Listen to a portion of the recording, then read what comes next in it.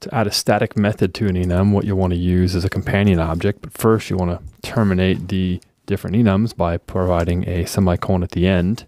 Then you'll want to say a companion object.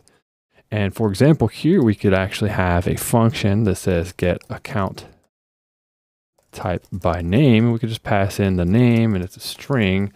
And this could just be value. We could just use the value of name dot to uppercase.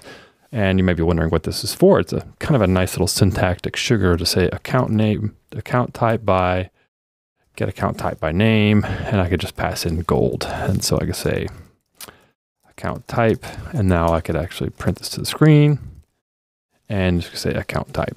And then if we hit run, we should see that we're going to get gold on the screen, which we do down here on the bottom in the output window.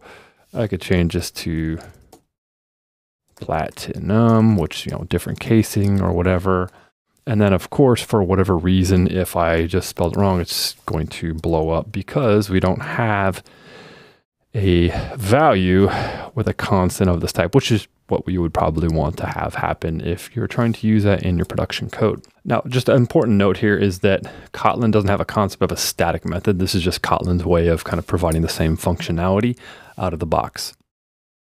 And that's how you can create a companion object method. It kind of acts like a static method inside of a Kotlin enum by using a companion object.